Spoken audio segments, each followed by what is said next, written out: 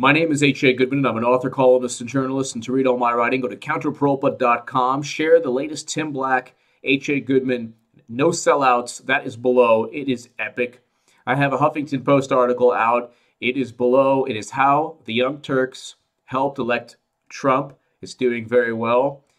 And I want to thank everybody. I want to thank everybody for your support, the love, the kindness that you've given Tim, Nico, and, and me.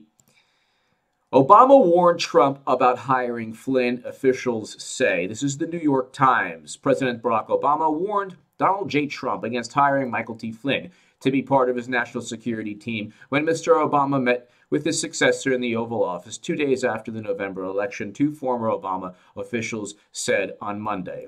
President Obama never warned Trump of anything. Number one, and neither did Sally Yates. Number one, why would uh, Yates or President Obama warn President Trump of potentially what could be a gigantic political liability? Why would that take place if their goal in life is to delegitimize and undermine Trump's presidency? That's number one. Number two, President Obama hired Michael Flynn as the head of his Defense Intelligence Agency. President Obama's administration gave Flynn security clearances. Sally Yates, first of all, gave no evidence to Congress and stated, "Oh well, if um, if I gave you the evidence, well, it's classified. I can't give you the evidence." So there's something called evidence that we need. The American people, when they hear an accusation, especially treason or uh, being compromised by Russia.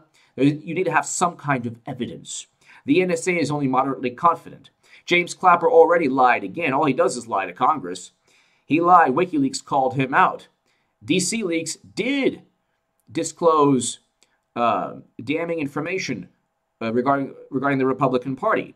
So you can't. The, the entire narrative is completely crumbling. Instead of focusing on draft Bernie for the People's Party, or Nina Turner, Tulsi Gabbard, Bernie Sanders 2020, or breaking up too big to fail banks, or banning fracking, or reinstating Glass-Steagall, or um, single payer health care. Instead of focusing on those bold, progressive ideals that could actually undermine Trump, what they're doing is they're painting a ridiculous, stupid Russian hacking narrative that nobody gives a crap about. Nobody cares. So don't say that, and, and Michael Flynn was already cleared by the FBI. They investigated Flynn, Manafort, everybody associated with Trump. He didn't do anything wrong.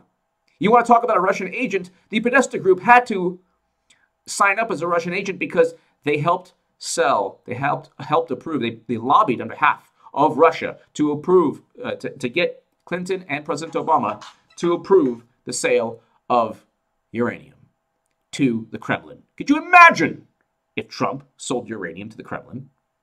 Give me your thoughts below. President Obama didn't warn Trump of Flynn. It's utter nonsense. Give me your thoughts below. Thank you so much for listening.